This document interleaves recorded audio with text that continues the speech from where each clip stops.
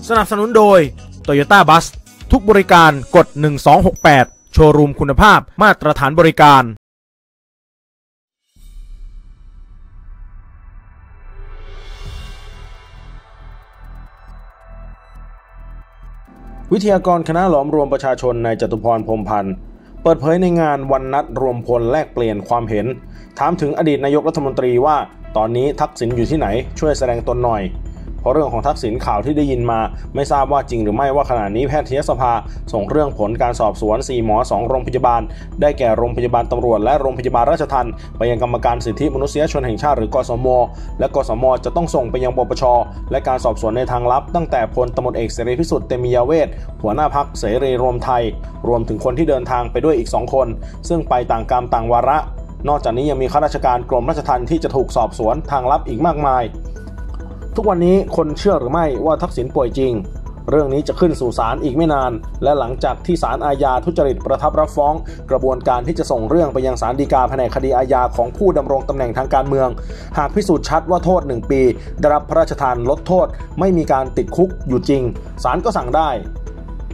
นายจตุพรระบุว่าตนเองมีประสบการณ์อยู่แล้วเป็นคนแรกในประเทศไทยที่ได้รับหมายปล่อยออกมาแล้ว ถูกจับไปขังในคดีเดิม ทักษิณจะได้รับโอกาสเป็นรายที่ 2 ซึ่งตอนนั้นทักษิณจะหนีหรือจะอยู่ หากหนีจะง่ายเหมือนเดิม เหมือนที่เขาเปิดโอกาสให้บินออกไปได้หรือไม่ โดยวันนั้นตนเองก็ไปส่ง สถานการณ์ในวันนี้จึงทำให้ออกมาโลดแล่นเหมือนเดิมไม่ได้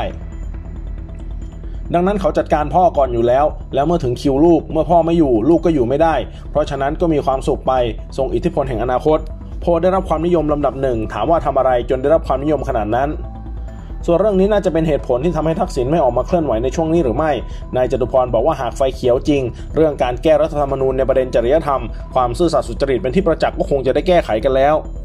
เห็นหรือไม่ว่าพักร่วมไม่เอาด้วยสักพักขณะที่พักเพื่อไทยบอกว่าพักร่วมเป็นคนเสนอ แต่พักร่วมบอกว่าไม่มีใครเอาด้วย และระเบิดเวลาลูกใหญ่อีกลูกหลัง 25 ตุลาคมนี้ มีคดีตากใบ ถือว่าน่ากังวลกับท่าทีของคนในรัฐบาล เพราะเป็นเรื่องบาดแผลทางใจ แค่พูดให้คนสบายใจ ยังพูดไม่เป็น ยิ่งพูดยิ่งได้เห็นกำมลสันดานว่าจะเกิดเรื่องอะไรขึ้น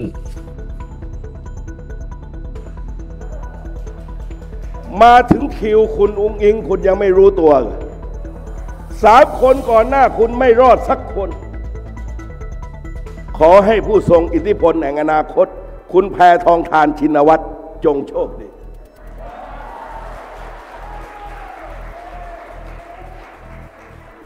เดี๋ยวนี้ก็บอกอีก โพลนิด้าลำดับหนึ่ง คุณจตุพรว่ายังไง ผมบอกว่าก่อนคุณอุ้งอิงใครได้ลำดับหนึ่ง บอกว่าพิธาเจริญรัตน์และตอนนี้พิธาไปอยู่ที่ไหน ราะฉะนั้นผมจึงบอกว่า คุณได้เวลาแล้วแหละ เขาจัดการคนที่ทรงอิทธิพลในอนาคตชิบหายทุกคน ได้รับความนิยมเป็นระดับหนึ่งก็ชิบหายทุกคน ก็ได้เวลาแพทองทานชินวัตรเชกเช่นเดียวกัน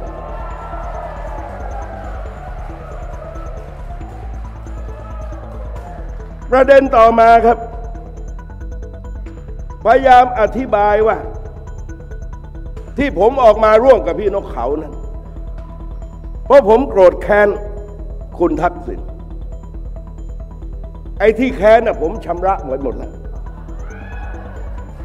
สองปีมาเนี่ยพูดหมด แต่ที่รับไม่ได้ คือการทำลายกระบวนการยุติธรรมอย่างย่อยยับ จากโทษ 12 ปี ขาดอายุความสองเหลือ10จาก10นับพร้อมเหลือ8ขอพระราชทานอภัย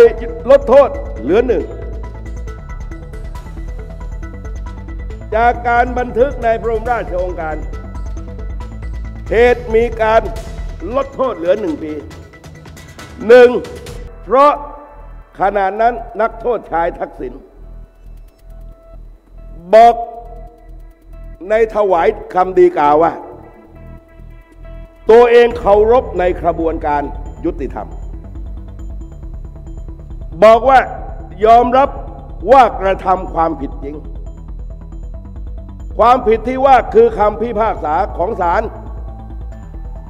ในคดีทุจริตคอร์รัปชันตามประมวลกฎหมายอาญามาตรา 157 ทั้งสิ้น บัดนี้สำนึกแห่งการกระทำแล้ว บรรดาติ่งๆก็พยายามอธิบาย ว่าคุณทักษิณถูกยัดเยียด ใครไปบังคับ ให้คุณทักษิณไปเขียนคำรับสารภาพว่ากระทำความผิดจริงและเขาไม่ได้บอกกับประชาชน แต่บอกว่ากระทำความผิดจริง คุณไปบอกกับพระเจ้าแผ่นดินในการยื่นถวายดีกา คุณยอมรับเองว่าคุณทุจริตคอร์รัปชันแล้วก็บอกว่าบัดนี้สำนึกแห่งการกระทำแล้วสำนึกคืออะไร คือไม่ต้องติดคุกแม้แต่เพียงวันเดียวใช่ไหม ผมได้เข้าคุกออกคุกมาห้าครั้ง เหลือสแปรในศาลชั้นต้นสองคดี ขาดวันหนึ่งครบเจ็ดปี เหลือโทษรออยู่ แต่นายจตุพรไม่เคยหนีแม้แต่เพียงครั้งเดียว จับไปขังสั่งปล่อย บอกว่านับผิดเอาไปขังใหม่ ผมยังเดินเข้าไปเลย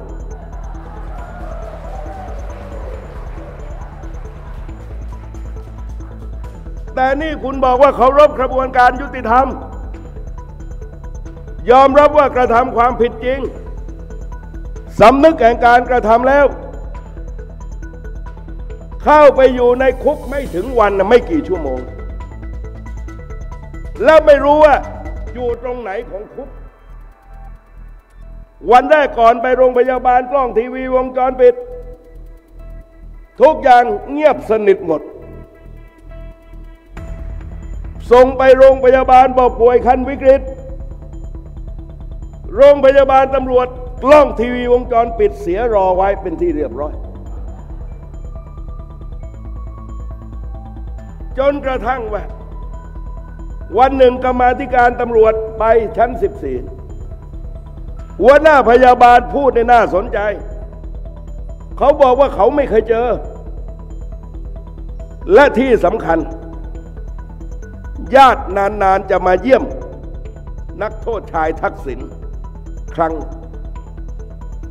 เสมือนว่าเป็นคนไข้อนาถา ญาตินานๆมาเยี่ยมครั้ง มีคนที่กินข้าวในประเทศไทย หรือในโลกนี้คนไหนเชื่อบ้างเพราะนะครับคนระดับนี้ นอนป่วยอยู่โรงพยาบาล ญาตินานๆไปเยี่ยมครั้งยิ่งกว่าละครลวงโลกสิ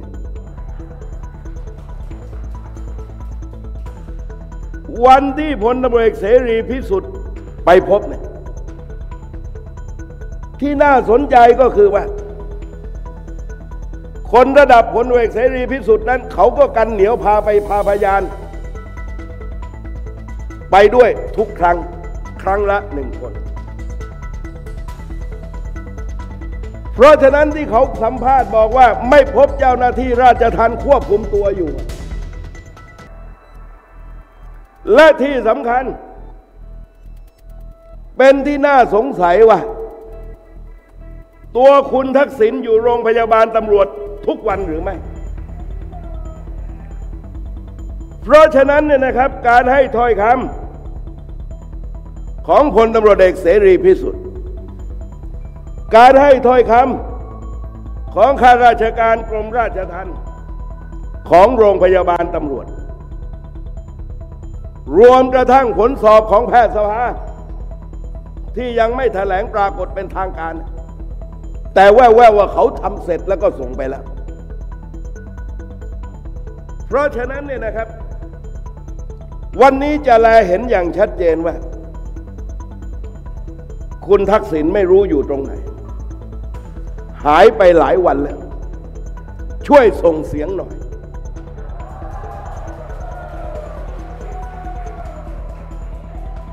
ใหญ่นักไม่ใช่อะใหญ่ครับบ้านครับเมืองไม่ใช่อะไฟเขียวใช่ไหมไฟเขียวใช่ไหมผมบอกกับพี่น้องว่า ถ้ามีการดำเนินคดี จากปปช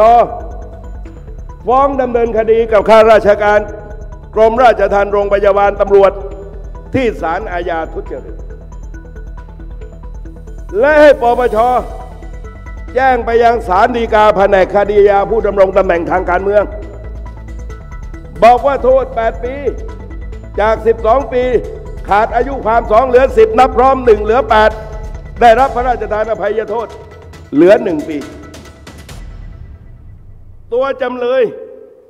ไม่เคยติดคุกจริงแม้แต่เพียงวันเดียว บัดนี้กระบวนการช่วยเหลือถูกดำเนินคดีไปแล้ว คุณทักษิณต้องกลับไปที่เรือนจำกลายเป็นนักโทษชายทักษิณชินวัตรอย่างที่ควรจะเป็น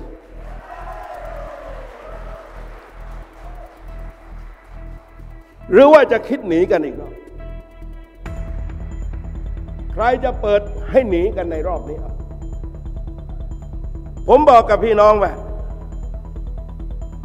การไม่สนใจความรู้สึกของประชาชน วันที่เศรษฐาต้องคำพิพากษาของศาลรรัฐธรรมนูญ เรียกพักการเมืองเข้าบ้าน คุณเป็นใคร คุณเป็นคนถูกตัดสิทธิ์ทางการเมืองตลอดชีวิต รัฐธรรมนูญเนี่ยเขาห้ามคนต้องคดีทุจริต มาเกี่ยวข้องกับทางการเมือง แต่คนที่ต้องคดีทุจริตถูกตัดสิทธิ์ตลอดชีวิต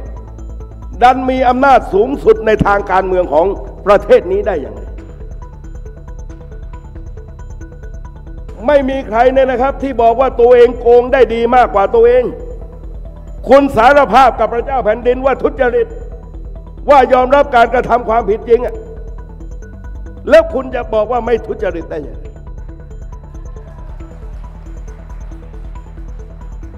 เพราะฉะนั้นสิ่งที่มันใหญ่ที่สุดถัดอย่างนี้ไปก็คือว่าปปชซึ่งสอบในทางลับกันมากมายคุณไม่ต้องรออะไรอีกแล้ว กลางเดือนนี้ควรจะได้เวลา จัดการทักษิณให้เรียบร้อยเสียก่อน